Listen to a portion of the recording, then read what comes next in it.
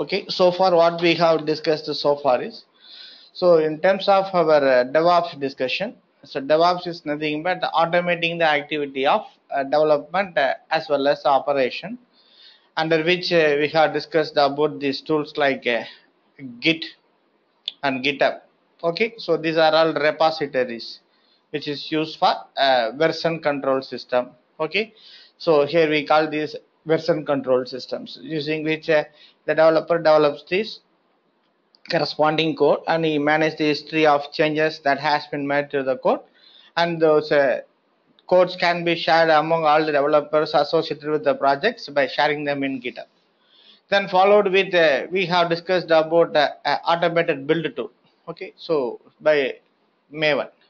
So maven is tool which is used to do it will take whenever there is a updations in this uh, git github maven will sense for that it will take the source code and it will uh, compile the source code and uh, it will apply some unit test on top of it and then uh, it will uh, check for its uh, okay whether it is perfect or not.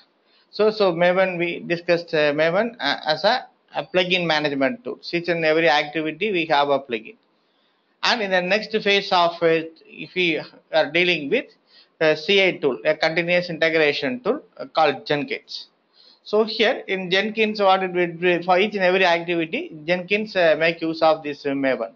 So here the developers uh, developed code uh, need to be integrated with the existing code, and once again it will uh, be clubbed to form a package, and uh, it can be installed uh, in the environment. Okay. So after uh, performing this continuous integration, so here it will be applicable with some save tools, configuration management tools like Chef, Puppet, Ansible.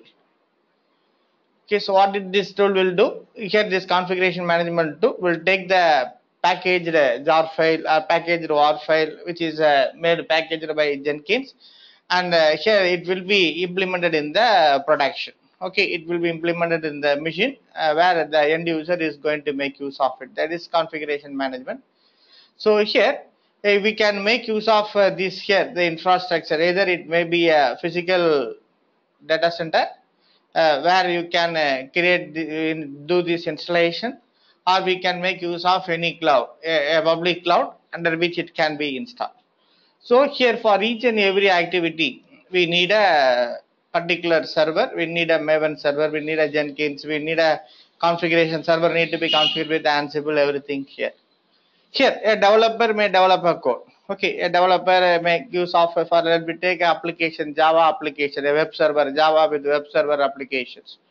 Okay the developer uh, in his system uh, need the following thing. He make use of uh, ubuntu operating system associated is ubuntu.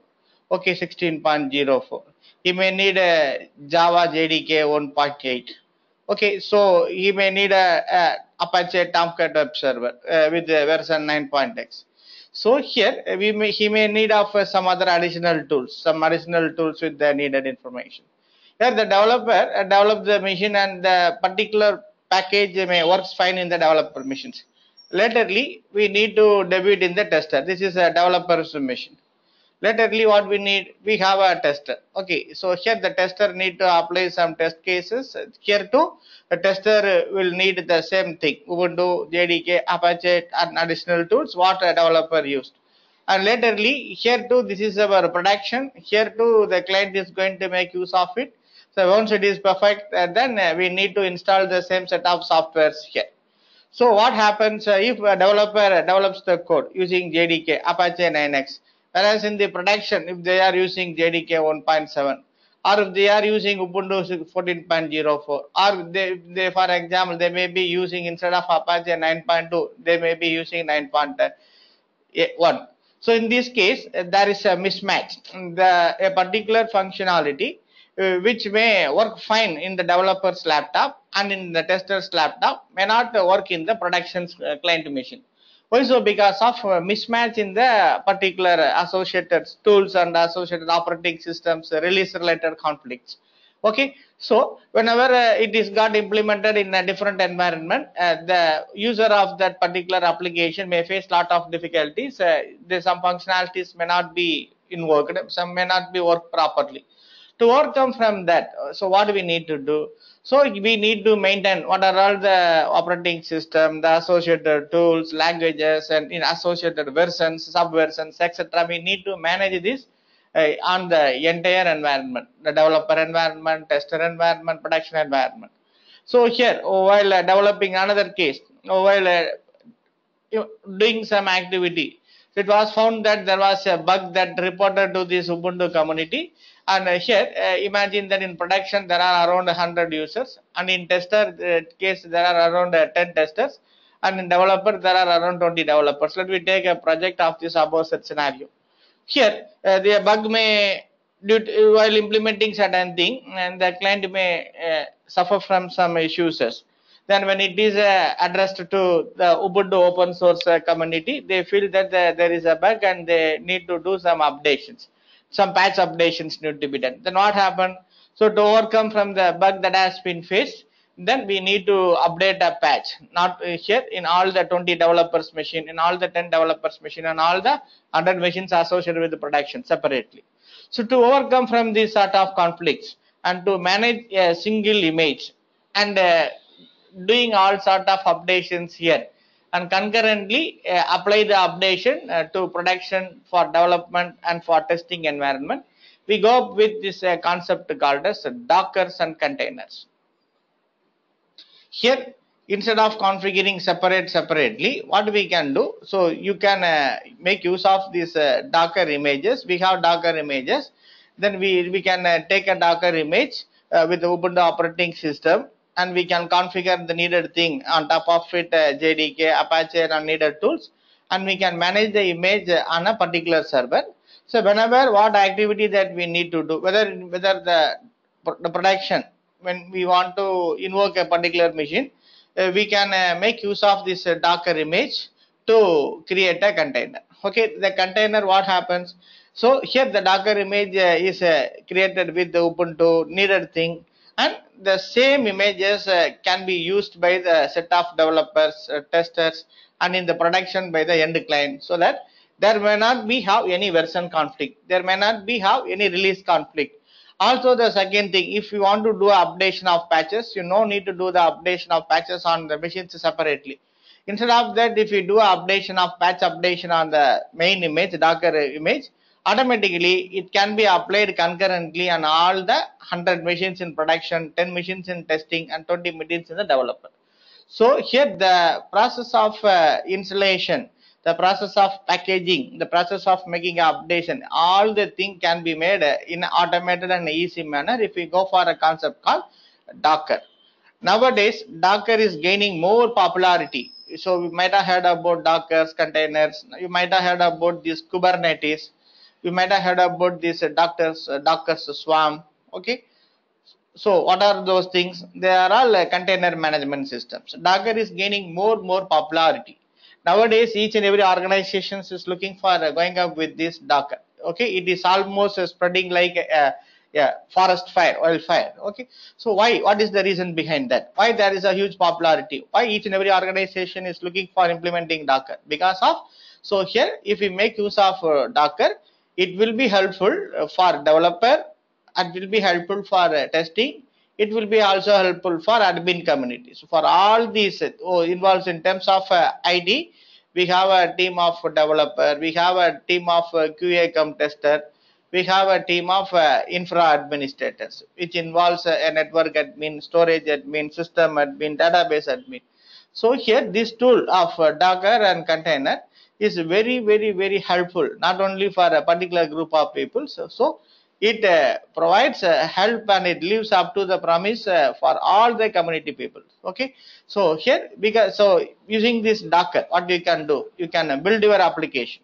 What are all the things that we need? We can build the application and we can package the application along with the dependencies. So what dependencies here?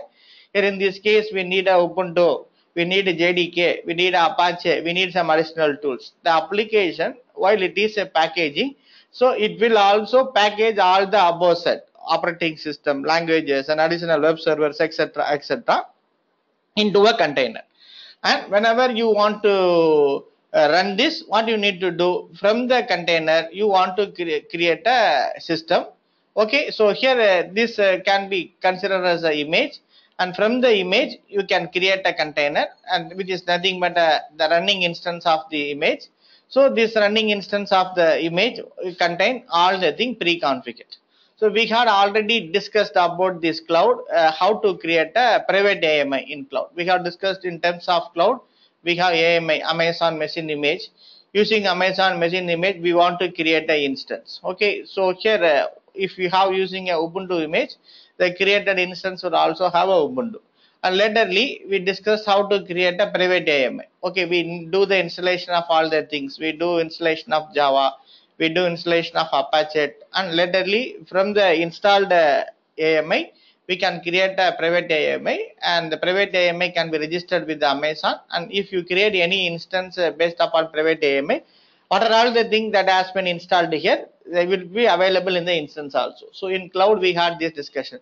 Similar to this, here too, if you have a container with you, uh, the container uh, here uh, is nothing but uh, the application that we have built, the code that is associated with this application can be packaged not only along with the code also with the dependencies. Dependencies in sense along with this language along with this uh, supported web servers along with the additional tools everything can be packaged and it will be wrangled into a, a single container. Okay? So that using this uh, if you create any machine that machine is equipped with all those things.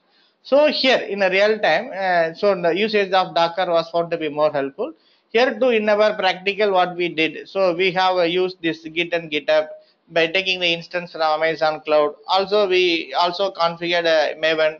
Okay here in jenkins uh, we can uh, we need to configure jenkins. We can configure jenkins either on a windows machine or on a linux machine so what happened here is so instead of uh, taking a, a, linux instance and configuring each and everything we can have a configuration of jenkins maven github using these dockers so what I feel that uh, before going up with this uh, Jenkins and configuration management tools, if you have an idea on Dockers and container, it will be very much helpful uh, for doing your practical in a very, very efficient manner. Okay, that is the reason why uh, ahead of uh, taking the Jenkins, I plan to go for this Dockers and container. Also, in terms of interview perspective, if you have a, your profile listed as Docker container and Kubernetes, it will be more more more more powerful in getting a better placement. Okay?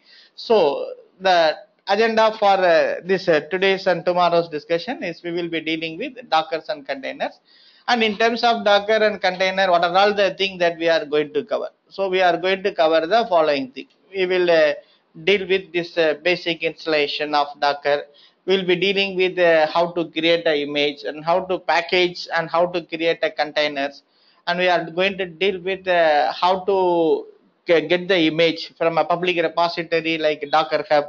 So similar to that of repositories, local repository and remote repository in Git and GitHub. Similar to repositories in Maven. Here too in Docker also we have repositories. Uh, public repository, we call this public repository as a Docker Hub. hub.docker.com. Okay, Docker Hub okay also the repositories can be downloaded into the local machine and it can be managed locally we will be dealing with how to create repositories and how to upload and download images into the repositories and we will be dealing with how to build our own docker image. Similar to that of building a private ami how to build our own docker image. And we will be dealing with the docker volumes how to create docker volumes. So storage perspective. Okay so then uh, we will be dealing with uh, how to create multiple uh, containers. So these are all the things that we are going to do. Okay so we are going to discuss with uh, docker basics. uh, docker uh, installation is very simple how to install docker using uh, both uh, linux and as well as ubuntu uh, we are dealing with docker images and docker containers the basics of docker images and containers we'll be dealing with registries the public registry and private registry. We will be dealing with in this registry, we will be dealing with this Docker Hub, which is a public registry. Okay, so here we are dealing with building our own images, how to build our own images using the existing public images. we'll be dealing with uh, Docker volumes. Okay, how to create a storage and how to attach storage. We are dealing with how to create multiple containers. Uh, okay, creation of multiple containers and how to manage these multiple containers using a Docker Swarm. So here a Docker Swarm is one tool for managing containers. So Kubernetes is another tool. Okay, Kubernetes. How to make use of uh, another uh, tool Kubernetes to manage these multiple containers. Okay, so these are all uh, then the, some basic uh, Docker management commands. So, taking backup, etc., etc. So these are all the things that is planned for uh, Docker okay docker itself is a ocean uh, but we will be dealing with uh, some uh, important thing additional thing uh, that associated with our uh, curriculum. Okay so what is docker docker is a software containerization platform. Okay what is the advantage of going for docker so using docker we can build the application. Also we can package the application along with the uh, dependencies. Dependencies in sense we need to package along with this language like if for example JDK uh, what is the package that is associated? Then uh, the server that is associated some additional tools. Along with it is a package. And uh, this using this this package uh, is called as image docker image. Using this image uh, if you create a machine that is called as a container which container is nothing but instance of a docker image okay? So when a container has been created you no need to install each and everything separately okay? So if a, a new developer uh, joins the organization so here uh, the image will be maintained in the repository. So the new developers in the new developers machine based upon the image a container will be created. Then what happens? The new developer can start developing this activity without uh, going for any conflict. So that is the way by, by using a docker so here it is uh, helpful uh, for developers, testers, and for uh, admin team to a great extent. Okay, so that is containerization. So the advantage is it, it avoids any version conflict on the user end. Okay, so it avoids any dependency conflict. So all sort of conflict that we have faced in the traditional environment uh, has been uh, reduced to great extent. Okay, so here it, it, to, it to be, uh, if you want to make an analogy you can imagine uh, the concept of uh, virtualization okay? So it can be treated as a, a advanced uh, the docker and containerization is a advancement of virtualization okay? What is virtualization? Virtualization is a technique which provides abstraction at the os level okay? So sorry hardware level. Virtualization is a technique which provides abstraction at the hardware level you i think so you guys aware of virtualization. Whereas the containerization is a technique which provides abstraction at the operating system os level. Okay? Hardware level abstraction. And now containerization is uh, the operating system level abstraction. Okay? So the virtualization was found to be very advantageous compared to that of uh, having a physical server for each and every activity if you go for this uh, virtualization technique here uh, by using a single server itself you can host uh, multiple machines. You, for those who doesn't aware of virtualization a small recall okay you will be having a physical server. So imagine that you have a machine with i7 uh, with 16 GB of RAM memory and with uh, 1 TB of storage. Here you have operating system Windows 10 on top of it what we need to do? On top of it uh, here this is the operating system. We call this as a host operating system. This is our physical server. On top of it we need to install some virtualization software. So we have come across lot of virtualization software. We have vmware. We have oracle's virtual box. We have vmware and vmware we have vmware workstation. And we have vmware uh, vsphere. Okay so here we have EXSI server, etc., etc., virtual box. We have Microsoft Hyper-V. Okay, we have Citrix. These are all some of the virtualization software. Using this virtualization software, what we can do? You can create a multiple virtual machines. Okay, each and every virtual machines, as we have already discussed, will have its own operating system. Let me take a machine with Red Hat operating system. Here you have a Ubuntu operating system let me take here as a Windows uh, 8 as your operating system. Okay, you can configure this as a, uh DHCP client. Okay, so here this you can configure this as a, a database server. You can configure this as a, a web server. Okay, so you can configure different different applications for each and every machine you can assign here you can assign 2 microprocessor and 2 GB of RAM here and 100 GB of storage here for your database server you can assign a 3 microprocessor okay? So 2 GB of RAM and with 500 GB of storage. For DHCP client you can assign 1 microprocessor 1 GB of RAM with the 10 GB of uh, storage okay? So each and every machine virtual machine 1 virtual machine 2 virtual machine 3 act independently of one another okay? Each and every machine will have its own operating system operating system itself is different. Each and every machine will have its own set of application software. Herein we have a web server we have a database server we have a dhcp okay? So here uh, the user if you want to connect uh, from this client uh, a client is a machine through which user can make a connection with any one of the server. If the user want to make a connection with database server what the user will do? The user through this virtualization software can make a connection with this uh, Ubuntu machine and if we have enough credentials he can able to access the database here. Okay? So here on this side he can make use of a tool like PuTTY. Since each and every machine will have its own uh, operating system we have uh, let me imagine this uh, the IP address of the machine is uh, 192.100.10.3 on its PuTTY you want to give the IP address to which you need to make a connection. Okay? 10 and it prompts for username and password. If we have access using these credentials we can make a login so here this is the concept behind virtualization. The advantage here is you can run multiple operating systems. You can run multiple applications on top of a, a single physical server. Here the server level it is virtualized. Okay that is your hardware level. So where you will uh, get this uh, 2 microprocessor, 2 GB of RAM and 100 GB of hard disk for this virtual machine. Here the processor, the RAM memory and hard disk we will be getting from the underlying physical server hardware. For example, i7 is assumed to be having 8 microprocessor. We have 16 GB of RAM. We have 1000 uh, GB of storage. So, so out of this 8 microprocessor, we have assigned 2 microprocessor here for this machine.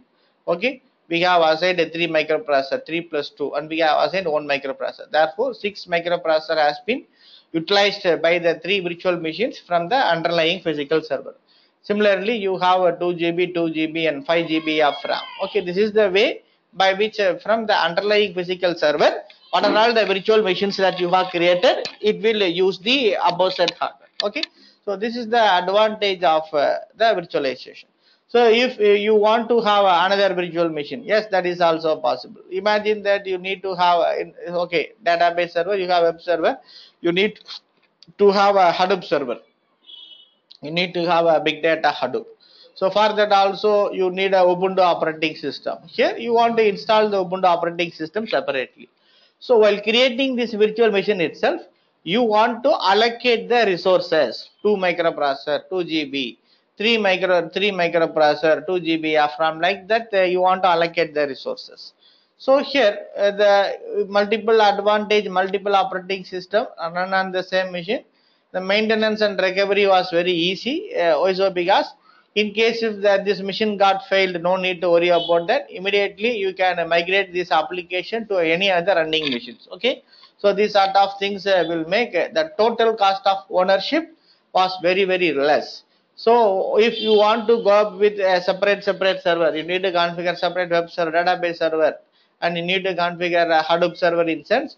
You need to go for investment uh, of all the four things. Okay, separately. Instead of that, uh, you need to invest only for a single hardware, and based upon this uh, technique of virtualization, you can able to create multiple virtual machines by which uh, the total cost of ownership with respect to hardware has been reduced to a great extent okay this is the concept behind virtualization you guys are aware of so so what is the drawbacks associated with this concept okay so here let me take this uh, scenario here you are having this virtual machine the operating system that you have configured on the virtual machine is called guest operating system We call this as a guest operating system. We have Red Hat, Ubuntu, here Ubuntu, here. In our virtual machine, you need to install this guest operating systems. Okay, so you have a, a physical server. On top of the physical server, you have this uh, host operating system. On top of it, you need to configure a virtualization software and you create a virtual machine. On the virtual machine also you need to install the full uh, operating system. Okay. So in this case here this is the, the here and, and on top of it you need to configure the application and what are all the binaries and what are all the libraries associated with this uh, application need to be configured. So this is the way by which each and every machine will occupy a lot of storage space. Okay what a real machine, uh, what a real operating system occupies, the same space is occupied in each and every machine. Okay, therefore, if you want to start this machine, it took uh, the same duration, it took a lot of time to start the server, a web server or database server. Okay, like thing. Okay, also because it need to load the full operating system. It need to load all the binaries and libraries associated with the application. Then only you can able to connect with. So these are all the, even though the advantage here is total cost of ownership has been reduced to great extent. Also because the hardware cost has been reduced. You no need to invest for a separate separate server. You need to uh, purchase a single server on top of it you can create all these uh, uh, virtual servers. All the virtual machine will behave as if as a, a, physical machine. There is no differentiation. For the end user so for if a user ram is uh, going to access a database server. The Raman doesn't aware that database server, whether it is a physical server or it is a server hosted on the virtualization using virtualization software, virtual machine. It doesn't aware. It seems as if that is connected to a physical server and working with the physical server. Okay, these are all the some of the advantages uh, has compared to that of uh, physical server.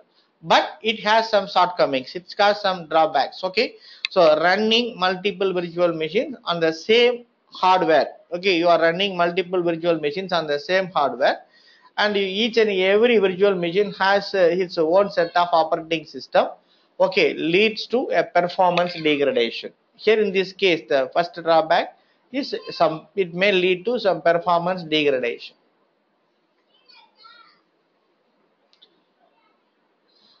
Okay so also because each and every guest operating system running on top of the host OS.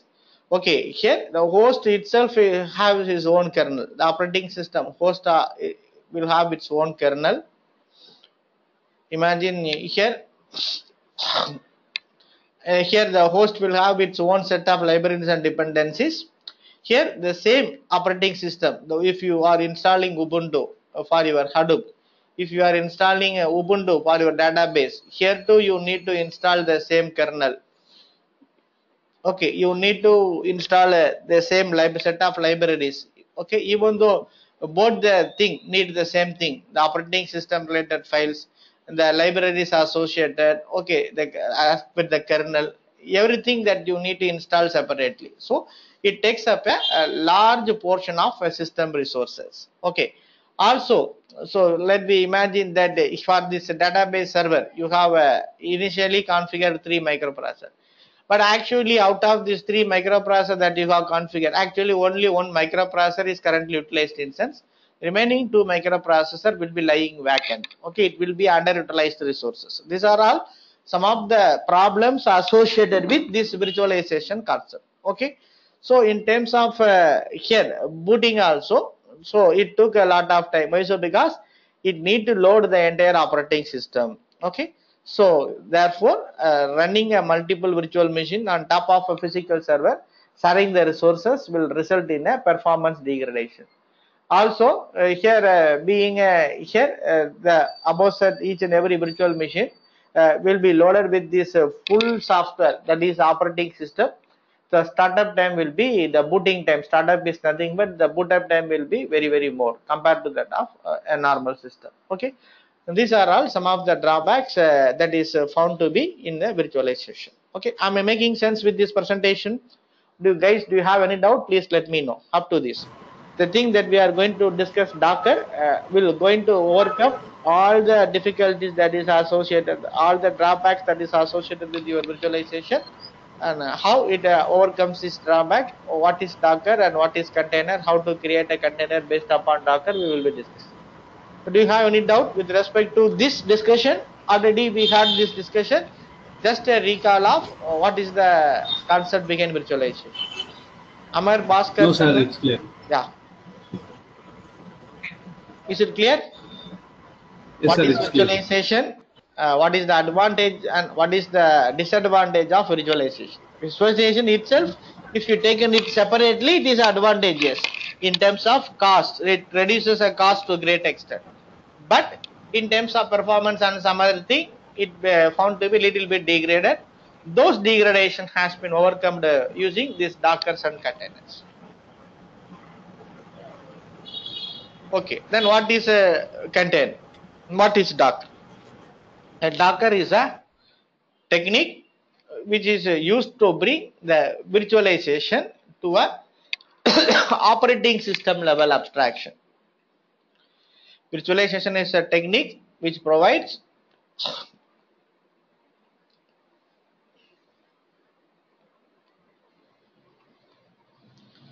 technique provide hardware level abstraction whereas containerization is a technique which provides OS level abstraction. What do you mean by that? Okay, what is mean by uh, OS level abstraction?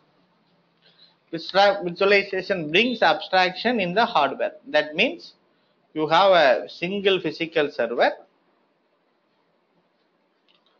Okay, on top of it, you can create multiple machines. Each machine will have its own hardware. It has microprocessor. Each machine will have RAM memory. Each machine will have hard disk. But those hardwares are not physical hardwares. They are logical hardwares. That is the hardware it will use from the underlying physical machines hardware. That is hardware level abstraction. Okay, the microprocessor that is assigned to the virtual machine one is from uh, it, it is not for the virtual machine. Belong to it is uh, shared from the physical server's uh, microprocessor. So, whereas here if you install the same operating system ubuntu here for example you need ubuntu to install you need to install separately on these two virtual machines. So instead of that if you go for this containerization okay it is more efficient. Why? So because there is no concept of guest operating system. Here we call this operating system as a guest operating system. We call the operating system you configure in a physical server as a host operating system. Here in this case if your virtual machine two virtual machines need a two ubuntu you need to install those ubuntu separately. Okay? So it occupies more space. Instead of that what you can do if you go for this concept of containerization here this is the concept behind virtualization okay? Containerization. No concept of guest operating system. Instead of that the container what the container will have. So you have a operating system. Imagine on your physical server you can install any linux operating system. Okay you have a here this is your container one. This is your container two. Imagine in this container you are going to configure a web server in this container you are going to configure a database server. But this container needs ubuntu. Okay here this container need red hat. Let me take. What happened? You no need to install red hat and ubuntu here. Here the kernel both red hat and ubuntu uh, will have the kernel common. This kernel will be taken from the underlying physical server. So being you have a linux operating system so red and ubuntu being they are distributions of uh, the linux. The kernel is nothing but the core uh, part of the operating system is containing all the basic commands to for to run an operating system. So the kernel will be shared by both the container. You no need to install this operating system separately. Instead of that the container will share the kernel the os uh, from the physical server. Okay. Here uh, how to create this container how to manage this container for that we need to go for this tool a container management tool called docker okay so a container is a technique which uh, used to bring the virtualization to operating system level Here to create container and to manage container, we need a container management tool. That tool is Docker. Now I think so you are aware of what is Docker and what is container. Okay, here the container, you won't have the concept of guest operating system as of your virtualization, instead of that, the kernel that you have configured on the physical server that is uh, shared by the multiple containers. Okay, sir, if you are going to configure web server, only those uh, libraries associated with the web server. What are all the libraries that is associated? What are all the binaries that is associated with uh, this web server and with Red Hat? That alone will be loaded on the container. Therefore, a container is said to be a lightweight.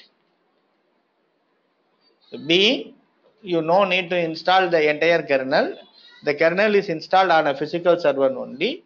The container can make use of whenever it needs some uh, help it can uh, make use of the kernel that is configured on the physical server. You no need to install separate. Instead of that what application that you need that libraries and that binaries associated with the application that alone will be installed in the container okay therefore a container compared to that of a virtual machine a container is said to be a lightweight lightweight in sense it occupies less space because of sharing of the kernel. Please make a note of these things. The container utilizes the functions of the host operating system.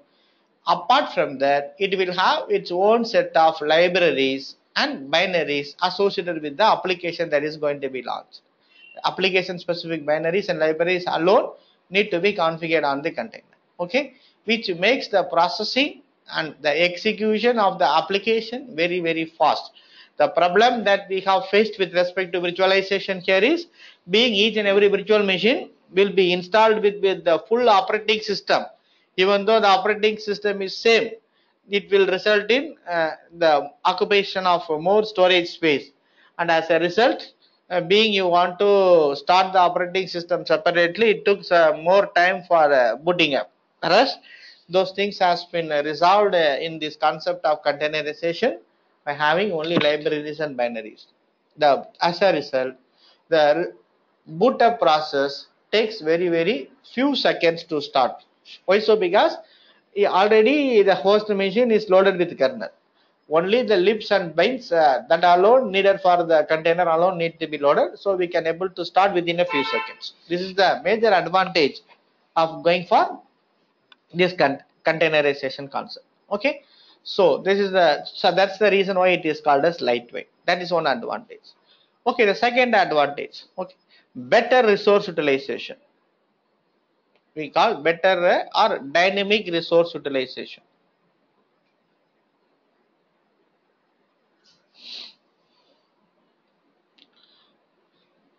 what is the dynamic resource utilization? So that is the more, another major advantage of going for this containerization. Okay in dynamic resource utilization.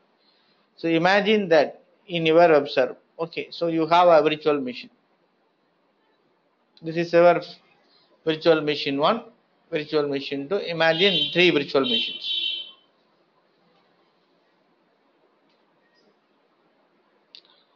Which is created on top of a single physical server. This is your original physical server.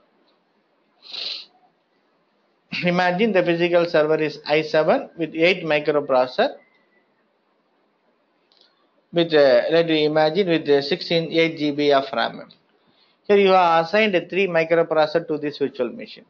You are assigned 2 microprocessor for this virtual machine. You are assigned 1 microprocessor for this virtual machine. Remaining 2 microprocessor uh, and minimum 2 GB of RAM will be allocated to this uh, physical server for running the opposite. Okay the physical server will have what will have its own OS and top of it will have its own virtualization software okay so let me imagine out of three only one microprocessor has been used okay out of this uh, two only one microprocessor has been currently consumed then each uh, occupies each is assigned with 2 GB of RAM assume that 2 GB of RAM and out of this 2 GB only 1 GB has been consumed and remaining 1 GB is free. So this is the scenario. Okay. Now we have 8 microprocessor and we have 8 GB of RAM memory uh, here uh, out of this 8, 2 microprocessor and 2 GB of RAM is for assigned for the physical server and the remaining is shared among virtual machine 1, virtual machine 2 and virtual machine 3. 6 microprocessor and 6 uh, GB of RAM memory. So RAM in terms of GB. So has been uh, here uh, shared by the virtual machines. And now I want to launch another virtual machine. Okay, I, I need to launch another virtual machine. This virtual machine uh, needs uh, two microprocessor and 2 GB of RAM. Okay, is it possible now? No. Why so? Because we have only 8 physical resources of 8 uh, RAM memory, out of which 2 need to be assigned to the physical server, remaining 6 has been allocated to the 3 virtual machines. We have left out with nil resource, 6 plus 2, 8, 8 is compensated. You have no resources to be allocated to the, the virtual machine 4 that it, it is planned for. If it is a virtualization concept. So here the scenario here is out of the three microprocessor that is assigned here this uh, machine is using only one microprocessor. The remaining two mi- microprocessor is found to be free. Even though it is free, we once it is allocated to the virtual machine, we couldn't uh, take the resources back even though it is uh, free. Okay, so here we have uh, out of this 2 GB, we have 1 GB, 1 GB, 1 plus 1, 2 GB of RAM also free. Even though we have free RAM and free microprocessor, which is needed for this virtual machine 4, here you couldn't able to uh, get back the 2 microprocessor and get back uh, this 2 GB of RAM from the already assigned virtual machine for the new virtual machine if it is a virtualization. Whereas if it is a containerization, if, you, if it is instead of virtual machine, if it is container, container what it will do, you no need to allocate uh, this microprocessor and RAM at the time of creating of the container. Okay, in case of virtual machine, at the time of creating of the virtual machine itself, you need to assign this is the hardware, this is the this much of RAM, this much of microprocessor need to be assigned priorly. Okay, it is fixed. Whereas in case of container, if the particular process which is running in the container need only one microprocessor at that time, it only uses that microprocessor. Remaining two microprocessor is uh, left free. So that if this virtual machine 4, if this is a container, imagine if it is a container 4, uh, it can able to take this uh, two microprocessor that it is needed. The resource allocation will be based upon the need. It is not fixed. It is dynamic resource allocation in terms of container because of this uh, better resource utilization in container compared to that of uh, virtual machine here it can be accommodated with more container and, there is uh, no problem of underutilization of resources. All the resources uh, underutilization okay that is uh, no wastage of resources. Underutilization means no wastage. Okay all the resource uh, according to the current need only will be consumed. By the way in this scenario if you go for this virtualization concept only at this uh, if the above said scenarios you can run only three virtual machines. Even though you have left out with the two microprocessor and 2 gb of ram underutilized you couldn't able to accommodate those underutilized resources to the new virtual machine vm4 but if the same thing if it happens through the concept of containerization what happens here is uh, the container being it is uh, allocated uh, with the, resources that is currently it is in needed the, the fourth container can be allocated with the, the 2 microprocessor and 2 GB of RAM. This is one of the very big advantage of going for this containerization concept. Is it making sense? Uh, this is the way by which if we go for the concept of containerization compared to that of virtualization, it is very, very beneficial not only in terms of uh, performance, also in terms of the resource utilization. We have discussed so far about what is Docker, what is a container, then what is the advantage of uh, Docker and container compared to that of virtualization in terms of the resource utilization, in terms of the operating system's kernel sharing and by the way of sharing the kernel then how fast that we can able to launch a container? How much of less time that we need to launch a container compared to that of the launching a virtual machines? Okay because of the reason.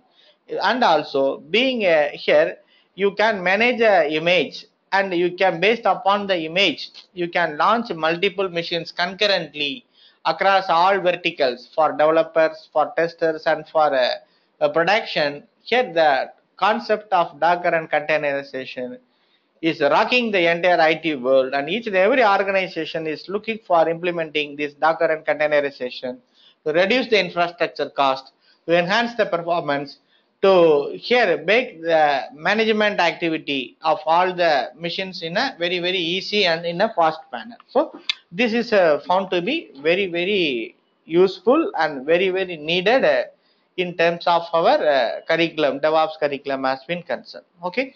So here if you take uh, what are all the things that we have discussed uh, if you take it uh, figuratively you can imagine like this.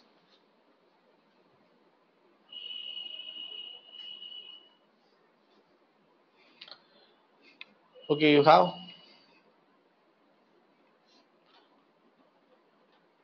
host operating system.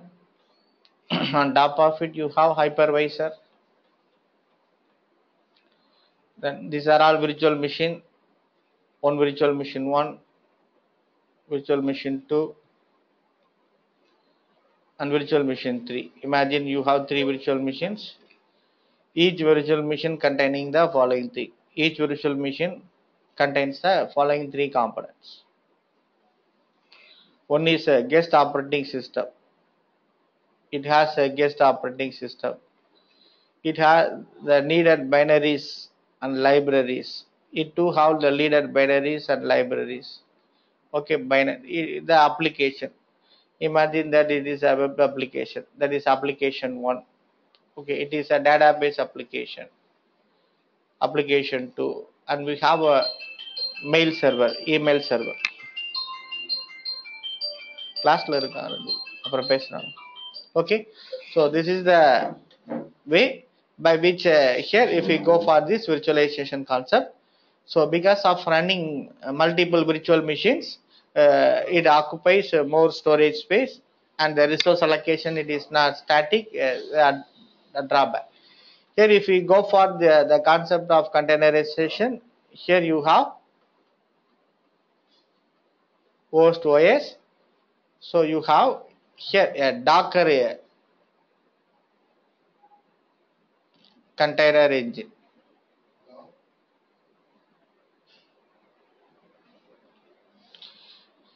here you can configure all the needed virtual machine on top of it என்னப்பா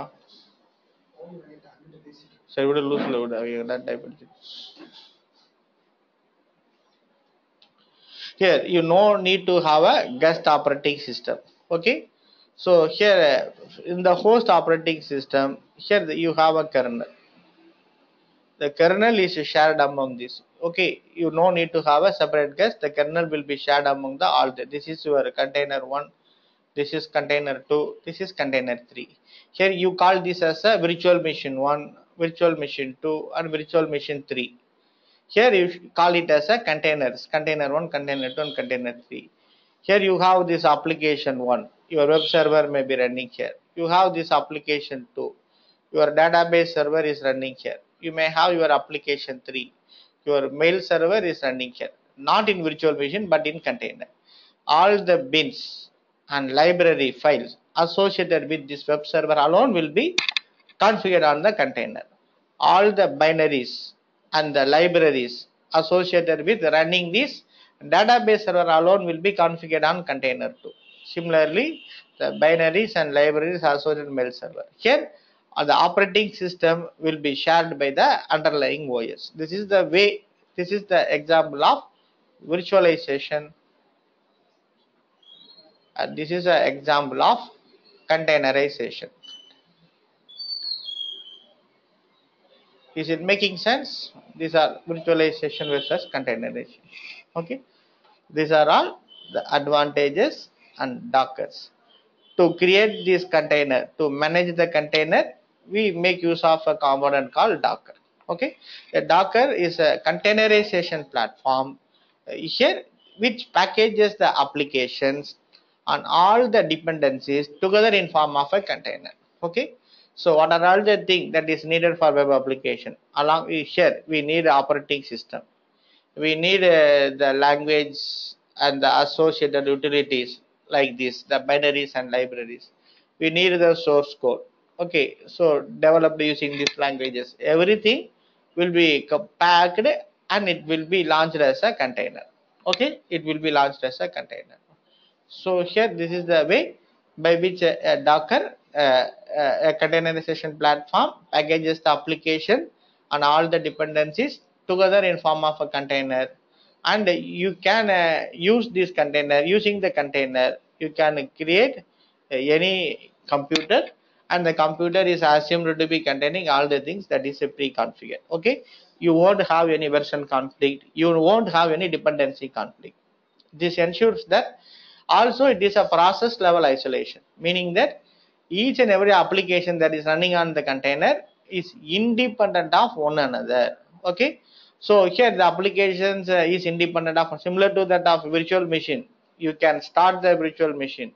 You can stop the virtual machine without affecting another virtual machine. Similarly you can start the application. You can start the container. You can stop the container. You can do any activity on the container without affecting the other container these are all some of the advantages. Okay so going up with this container. Okay so independently you can do all the activity. That is the way uh, by which uh, by making use of this docker and container you can do the all the things. So if not else if uh, uh, for example if a, a new developer joins the organization. Okay you have developer one a new developer developer new join in this machine it need to be configured separately. What are all the thing that is needed for the developing of a particular application? So uh, that is configured on developer one. Need to be configured separately. If a new tester is added the tester machine need to be configured separately. Instead of that what you can do if everything has been uh, packaged as a container when a new developer joins based upon the container okay based upon this uh, particular image you launch a container that the container is pre-configured with all the thing. What are all the language what is the release what is the supported uh, dependencies that is a developer one machine will be in the developer news machine also. Oh without worrying about the dependencies and all those things so okay what if a particular code runs on developer one it will also run in developer new and in tester new also without any conflict. That is the advantage. So all the individuals it also ensures the same infrastructure same work environment. The work environment is consistent across all the individuals that is involved in developing the particular product.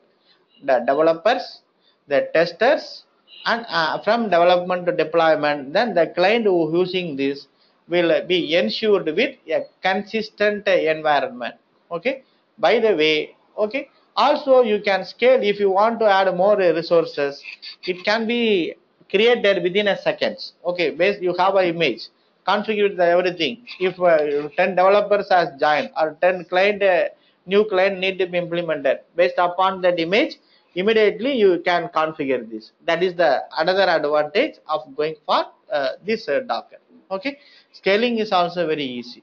Uh, without any high effort. It with less with the less effort it can be easily scaled. So these are all some of the things that is associated with the docker okay? So with this uh, virtual machine are very slow and it occupies a lot of time to boot whereas the docker and container uh, is very fast because of uh, sharing of kernel.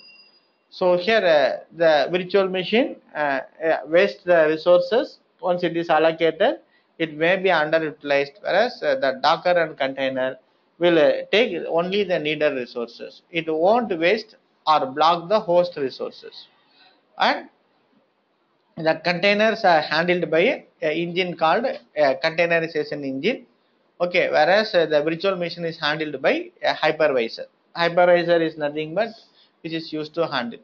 Okay, so here uh, one such containerization engine is Docker. Similar to Docker, we have uh, Kubernetes also we have. So Docker is a containerization platform which is used to manage all the containers. Okay, so okay, this is the way uh, by which uh, you can uh, make use of uh, this uh, Docker and container. Also the another advantage, not only in terms of size. Okay, here the three benefits here is the virtualization occupies more space, whereas the container in terms of size, it is very less in size. And because of uh, here the kernel has been shared, the startup time will be very fast. Startup time is very very less time to start up. Also, the third component is integration. These containers can be integrated with other containers in an easy manner. Okay. For example, in our environment, what do we need? Okay. So for our DevOps, we need the following. We need a machine. We need a machine uh, for a developer with a Git. We need a machine uh, for a, a server for building Maven. We need a machine, a configuration, Jenkins. And we need a machine with Ansible or Chef. And we need a machine with a monitoring tool like Nagios. Okay, so we need a separate separate server for all those things. Instead of that, what we can do? So here uh, using a Docker, you can make this uh, each and every one as a container one, container two. Okay, using Docker, you can create container, the container three, container four, container five, and all these things can be integrated easily. Communication between Git. If a developer uh, put a code uh, and uh, the code once it is uh, hosted on Git, uh, then here this Git the Maven can interact with this and it will take the code with the instruction of Jenkins. Maven will do compilation everything and after that uh, here the na- na- Ansible will take the code and it will implement the code in the needed infra machine. So here in the machine after that the Nagios can able to do the monitoring on top of it. So these are all the ways each and every thing. These are all containers. Okay, you can create a container with Git, container with Maven, container with Jenkins with a very very less effort, and the integration is very very easy. These are all the advantages of going for the opposite. Okay, so Dockers and containers, and what is the advantage of going for the Docker and container? Then how it can be integrated. Okay, so this is the concept behind Dockers and containers. Yes, is it making sense? Here now we are going to discuss. Uh, let me take a break for five minutes. Uh, now the time is 10:14. Uh, let me, we come back at 10:20, and let me discuss about the architectural perspective of Docker. Before uh, taking Okay. a break, do you have any doubt? Please let me know. It's clear, sir. No problem.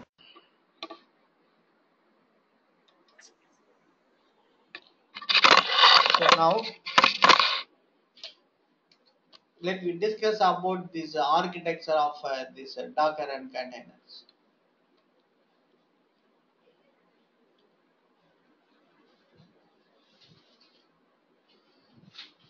Okay, so Docker architecture. In terms of architecture has been concerned, it is a, a client server architecture. Or you may call it as a, a master slave architecture.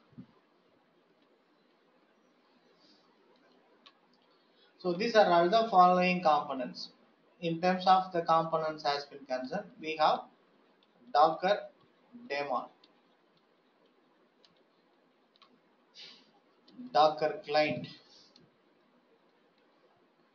we have Docker images. These are all the core uh, keywords associated with our understanding. Docker registries and Docker containers.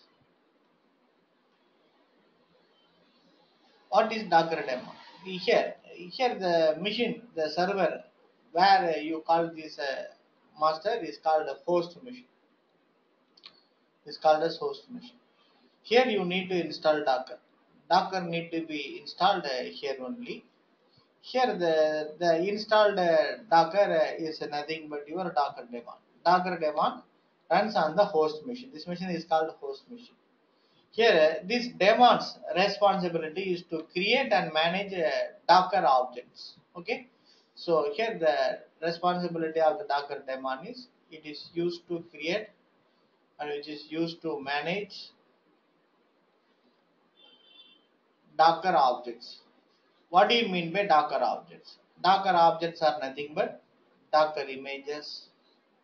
From the image, you may create container, Docker container, and you may create a volumes for your uh, Docker container.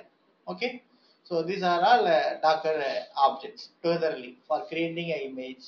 From the image, for creating a container, creating a volume and attach it to the container. All these uh, activity will be done by the particular Docker daemon only. Okay, a Docker daemon is a background process which is running on the server where you have configured Docker. Okay, that is Docker daemon. And what is Docker client? So here the Docker is running on the host. The user want to interact with the Docker. You user uh, how the user uh, will send a request to Docker and do the needed activity. The user for this purpose uses a machine called a client, Docker client.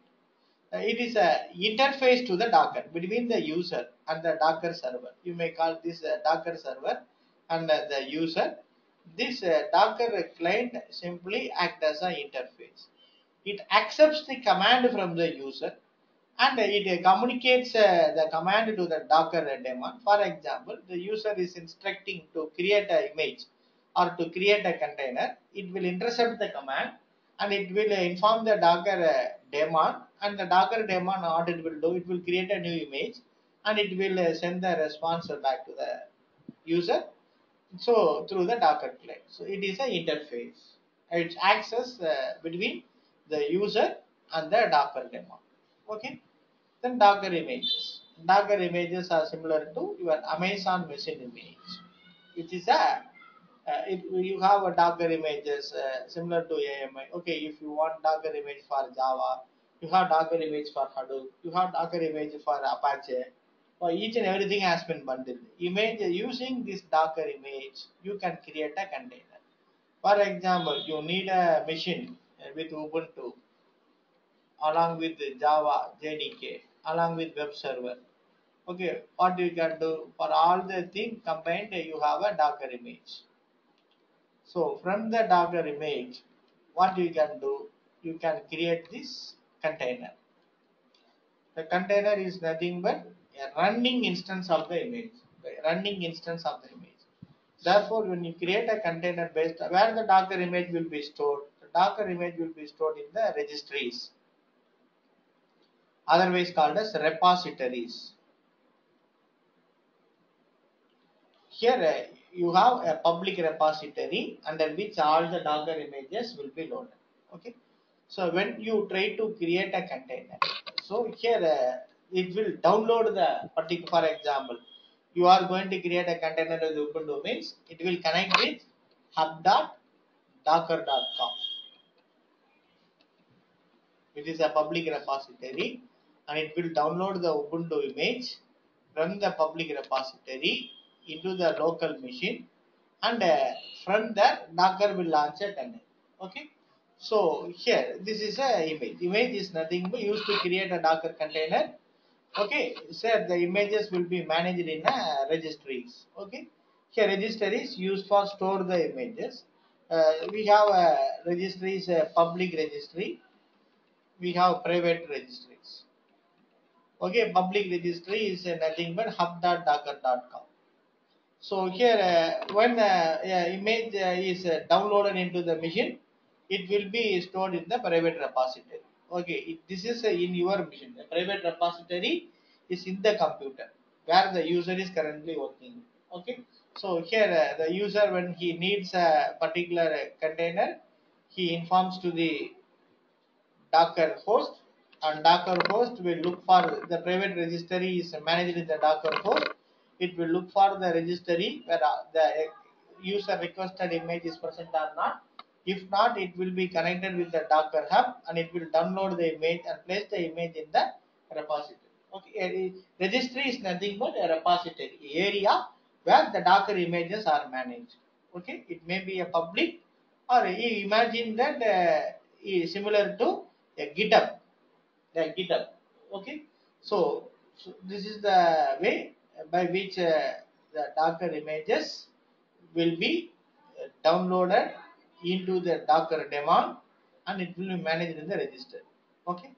So what is container? Container you know is a, a running instance created from the Docker image. So the container will contain all the needed informations that is needed for application to run. Okay. And each and every container may run in isolation with each other. These are all the core components. Please make a note of this component associated with our discussion. The core components of Docker.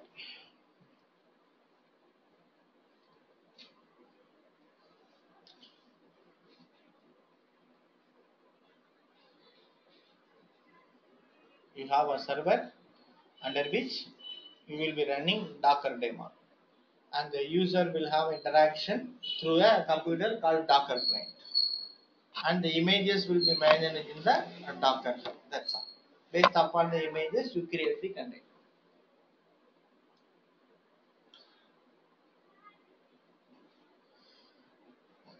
Okay, so you can install Docker for Windows. Now next we are going to discuss about this uh, installation perspective of Docker and some basic commands. So here Docker comes for uh, both the OS variant. You can install Docker for in Linux. Also, you can install Docker for Windows. Okay. So here, the Linux here. This means uh, you should have uh, under the Docker the kernel need to be set. If you launch a container, container one, container two, and container three, it should be only Linux only. Okay you need to have either a Red Hat Linux, you have a Ubuntu, you have a SUSE Linux like thing. You can't have a Windows machine on top of it. Please make a note. So the container couldn't have operating system apart from your Linux operating system. If you want, you need to load the Windows kernel here. All the Windows kernel need to be installed. This is a separate Windows version and on top of it you can create container container 1 can be a windows 8 operating system container 2 can be a windows 10 operating system container 3 can be a windows uh, server operating system okay there is no class platform support up to now as of my knowledge you can't launch a linux container onto the windows version of your docker so if you want a, a container uh, which need to support uh, windows you need to download the Windows Docker version. Here the Windows Docker version, it contains additional components called as a Docker toolbox.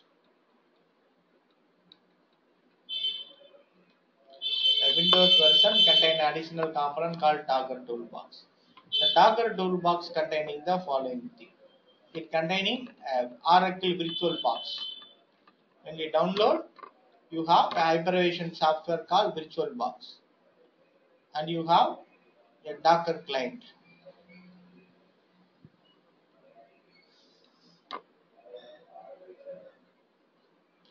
You have a manager called Kitematic. So these are all additional components. In terms of Linux, you won't have this uh, Docker toolbox. The Docker tool uh, addition of Windows machine. Similarly, for Mac machine also, Apple machine also. You have the opposite.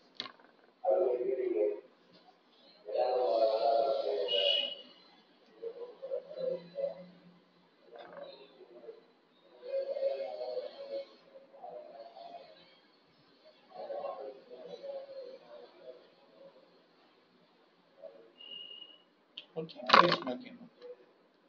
So the Docker image plays a very very key role. Okay, Docker image plays a very very key role. So, so it is the basic building block to create a Docker container. The Docker image is a basic building block to create a Docker container. Okay, using which you can create these containers. Docker image. Okay, so here it, this image will be maintained in the repositories as I told. So in terms of this installation has been concerned, here you can uh, have Docker is available in two versions. Uh, in terms of installation, the versions that, that is supported by Docker, it contains two versions. One is CE, Community Edition, and second one is EE, Enterprise Edition. Docker Enterprise Edition, Docker Community Edition.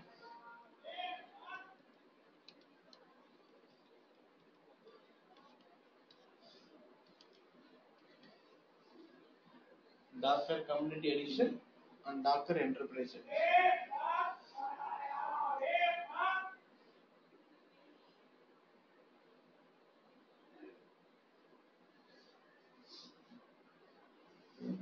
Edition. The Docker Community Edition is ideal for developers and uh, small uh, development. Okay, so if you are uh, going to start with uh, Docker uh, and experimenting with the container-based application, so here it is the best recommended solution. Under Community Edition, you have two flavors. One is Stable Edition, and another one is Edge Edition. Here, every three months once, the Stable Edition will be updated, whereas this Edge Edition will be updated with every one month once. It is uh, best to go for stable. Because this stable edition will be fully tested edition. The best is going for a Docker uh, community edition stable. It is the best suited one. Uh, Edge here uh, for every one month once you may consider Edge edition as a beta edition. Okay, so here uh, all the Docker user community uh, will use the beta edition and uh, they will give the feedback to the Docker forum. And based upon the feedback the revision has been made. Once all the big has, all the bug has been fixed and they will release it as a stable release. It is the best practice to go for uh, a stable version if you don't want to do any experimenting if you want to do r&d if you want to make a sense of uh, um, the docker current uh, edition you can go up with this edge edition. Another thing is enterprise edition. Okay if you go for uh, uh, development of uh, here enterprise development and it teams uh, for business critical applications okay you can go for this enterprise. It's about uh, more feature compared to that of this community edition enterprise edition support more feature so we are going to make use of uh, this community edition only. Apart from that what are all the platforms that it supports it has a support for uh, linux. It has a support for windows. You have a linux docker you have windows docker and you have a mac docker. All the three things. But if it is windows it will run only on windows 10 enterprise edition and windows server 2006 only 16 so below that it won't support. If you want a docker for windows instance you need to have windows 10 enterprise edition and windows server 2016 enterprise edition. That is the minimum os that it supports. If you are having a windows 7 or windows 8 if you are having windows server 2012 you can't make use of a windows based docker but for linux it is not a, it support for all. For windows and for mac we have the support of uh, ce only docker ce it won't have uh, enterprise support. For enterprise it will have currently up now linux based enterprise uh, support also uh, docker comes in the following cloud.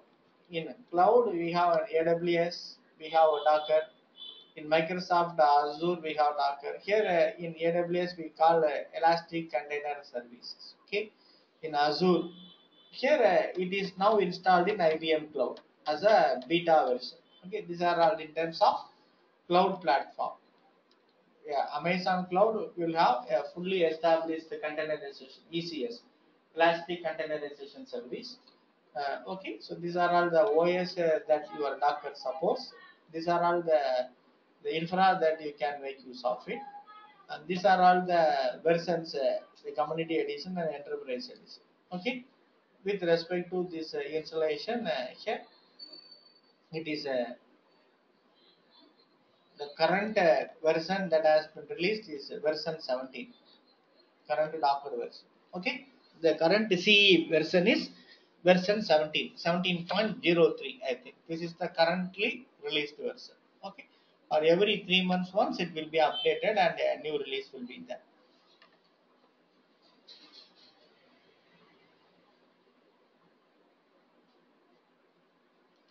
Okay. So now how to install docker? So for that uh, here uh, what we are going to do i am going to make use of uh, once again uh, instance linux instance from my cloud.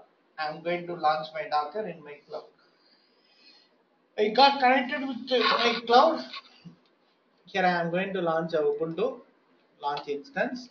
In, in ubuntu i am going to launch. Okay, configure instance detail, one instance, add storage, 8 GB is enough for me, add tag, let I add a tag, name tag, okay, name, this is Docker server.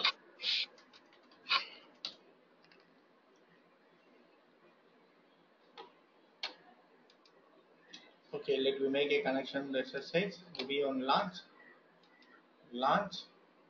I need a key pair. Nola 6 yes launch instance. And now I have created a Ubuntu machine by using Amazon EC2 service. Okay this is my on top of it I am going to install a Docker very simple command. So installing Docker is very simple no need to complicate so they in some regular uh, tutorials, some regular documents, uh, they had given around four to five lines of uh, command for instructing Docker, but it is very simple.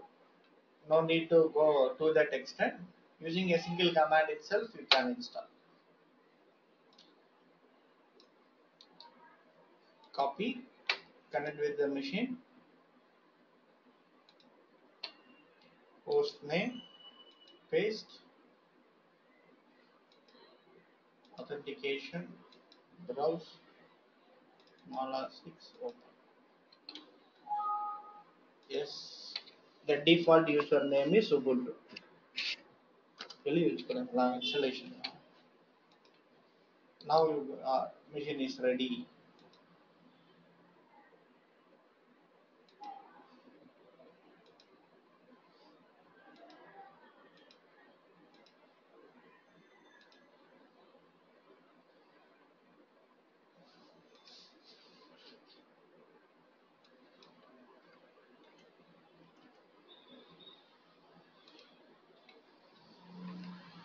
okay our machine is ready. The first thing what i need to do so now uh, let me check.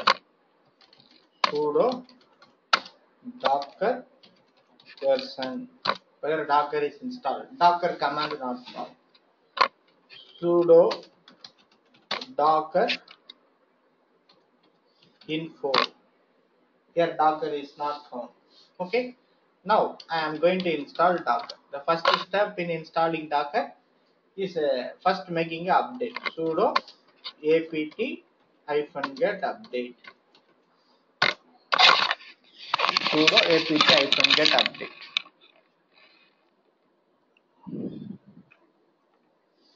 Yes it is updated. This installing sudo apt hyphen get install docker.io that's all sudo apt hyphen get install docker.io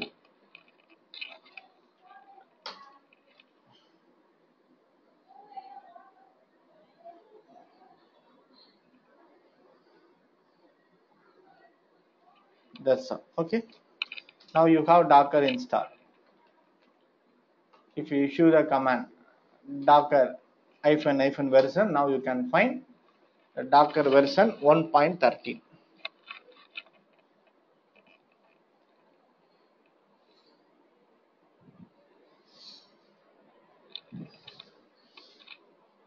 If you choose the Docker info,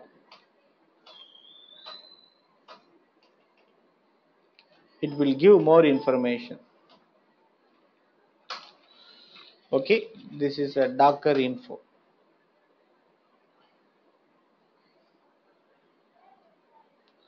So here the docker info command will give how many containers are there, how many containers are running container, how many stopped containers, how many images currently you have, what is the server version, okay.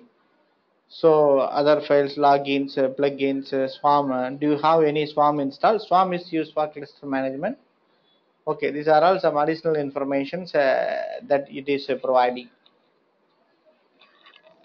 if you want to find out the images sudo docker images. Now you have uh, no images here. Okay in your repository it uh, here it looks for the repository local repository.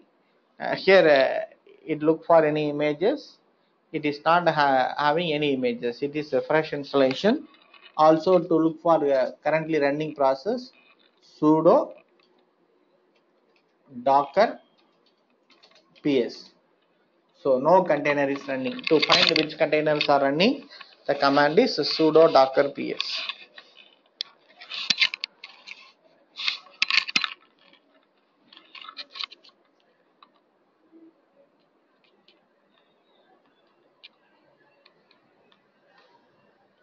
okay?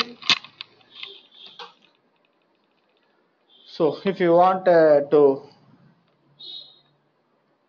create a image to download the image. Okay how to create a, how to do with uh, the basic thing.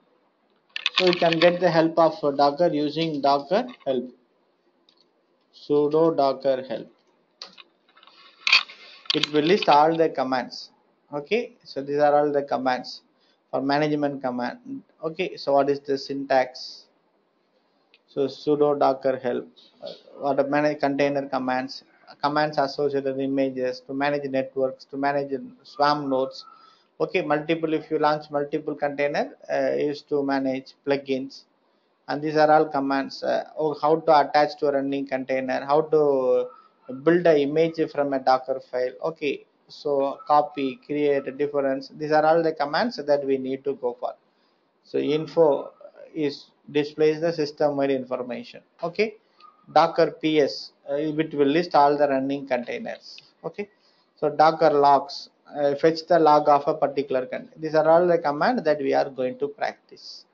How to start the service uh, how to docker stats how to get these docker statistics sudo docker stats statistics uh, on a particular container. Since we doesn't have any container uh, it won't give us any statistics okay so if uh, how much of uh, cpu that is utilized by the container how much of ram that is utilized by the container what is the network input output uh, how much of blocks that is transferring every information will be listed here.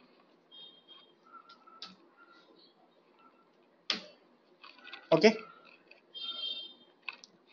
Is it making sense what we are doing? So here we will discuss those things on tomorrow session tomorrow session will be at uh, 9:30 we will discuss uh, how uh, to launch a, container and how from a docker image and how to connect with the container and how to install the needed things uh, this will be tomorrow's discussion.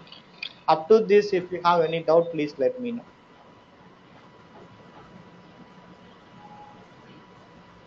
Okay so let i simply terminate my server. No need to i can start the installation tomorrow fresh no issue is it clear Yes, sir, it's clear, sir. okay amar and bhaskar do you have any doubt It's clear. okay okay, if we have any doubts. okay.